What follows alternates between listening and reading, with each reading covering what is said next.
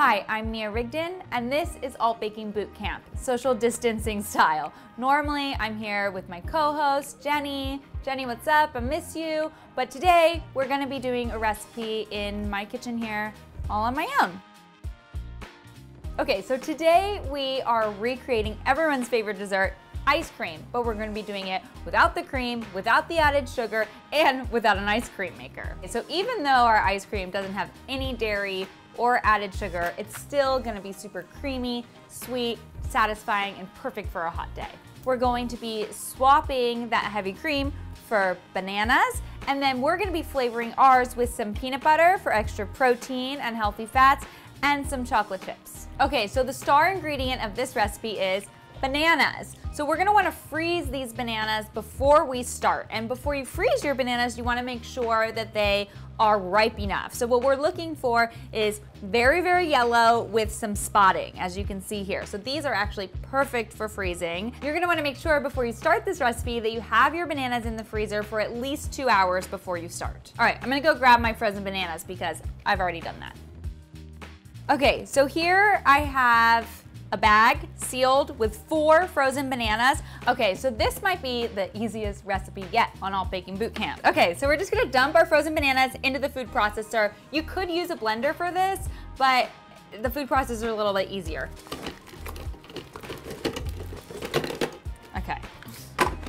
Okay, so when I turn this on, it's gonna be really loud. It's gonna sound like it's crushing ice, which it essentially is. But as the food processor continues to work its magic, the bananas are gonna start to stick together and get creamy and really give that same ice cream consistency. It's pretty, it's pretty cool, I'm not gonna lie. So I'm just gonna turn on my food processor. If you're using a blender, set it on high. You might need to like get in there and push it down because there's just less surface area in a blender for everything to blend together, but you know, be patient, it'll work.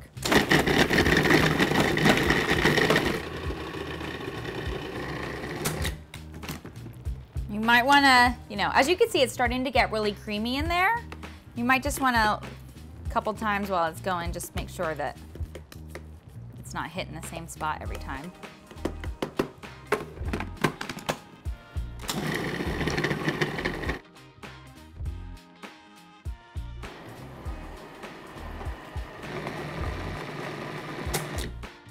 As you can see, the color of the ice cream is like an off-white. It's not yellow. Okay, so our bananas are perfectly creamy and we've got like a banana soft serve going on here right now. So, so this can be eaten just as is or you can add some flavorings to it. So today we're gonna do some peanut butter and some chocolate chips. But I also love putting some fresh mint in there. You could do tahini and some dates. You could throw some spices in there like cinnamon or cardamom would be wonderful. You could do some walnuts. You can make like a rocky road. So the options are endless, but I love peanut butter and I love chocolate and I love bananas. So that's the combination we're going for today. All right, so we're gonna scoop some peanut butter into our ice cream. And I didn't leave a measurement in here for you guys because if you like things super peanut buttery, add more. If you don't like as much peanut butter, add less or omit it. But I'm gonna just put two big spoonfuls because I love peanut butter. And I love that it's gonna add some protein and some healthy fats to this recipe. So that's gonna help manage blood sugar spikes because the bananas are sweet. It's a natural sugar, but it's still a little sweet. Okay, so now I'm adding another spoonful of peanut butter here. This is a creamy peanut butter, but a crunchy would be great in here too. Uh, and then this is about half a cup of chocolate chips. Okay, so today I'm using dark chocolate chips. You could also use cacao nibs, or you could even break up a bar of chocolate. Um, I like the chocolate chips because they're, you know, it doesn't take as much um, effort for the food processor to grind them, but that's up to you. Chunks of chocolate are delicious.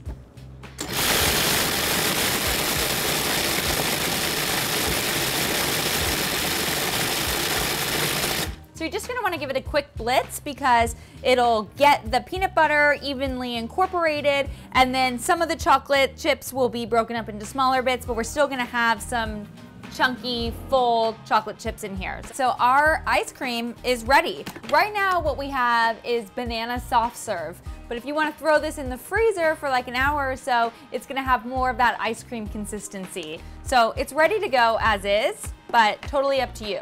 I like to eat some now and then save the ice cream for later.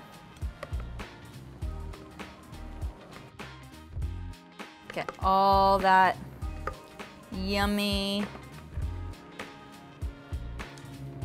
ice cream in there. So to store this, just make sure you have a container that you can put in the freezer with a lid. Anything will do. Here I'm just using some Tupperware. Um, but yeah, it's pretty simple. All right, I'm gonna have a little taste. Love each bite's got different little chunks of chocolate in it, which looks so good. The perfect amount of sweetness. This would be great for kids too. It's really just one easy ingredient.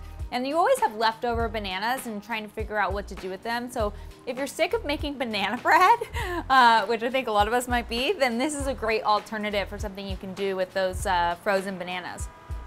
Thank you guys so much for joining me for this episode of Alt Baking Bootcamp. I hope you enjoyed your banana ice cream tutorial. Don't forget to comment below to let us know what flavor combinations you try out. I love seeing how creative you guys get with our Alt Baking Bootcamp recipes. And you don't want to miss an episode of Alt Baking Bootcamp, so please subscribe to Well and Good